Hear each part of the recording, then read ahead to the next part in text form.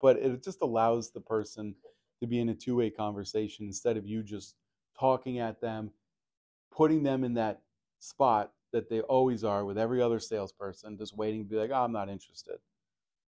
So that that's probably one of the biggest ones is pausing after you introduce yourself, allowing them to join the conversation and allow you to gauge where they're at. And some people do, hey, how are you? Or how's it going?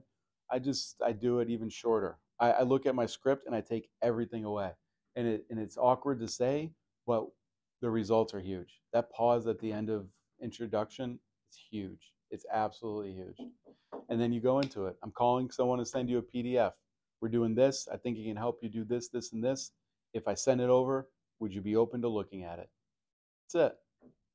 And boom, yes or no. If they say no, you're not wasting your time. If they say yes, you've identified a human being that is interested in what you said and is open to new ideas and is sort of easy to work with already. So those are the things to look out for in cold calling. And please, the biggest tip, don't listen to anyone who says cold calling doesn't work unless they have at least 60,000 in the bank and they're running their own business, doing some kind of B2B offering, doing zero cold calling.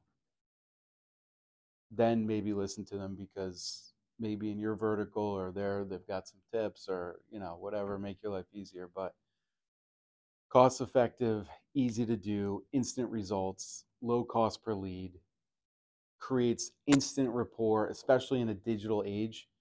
Who's in a and as we go down the years, the amount of people calling for most verticals is going to be less and less and less.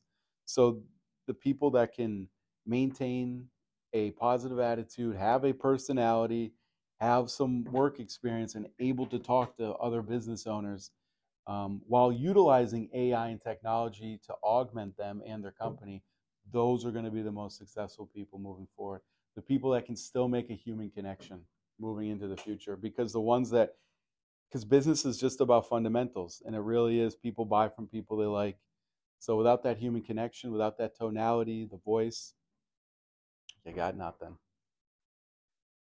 All right.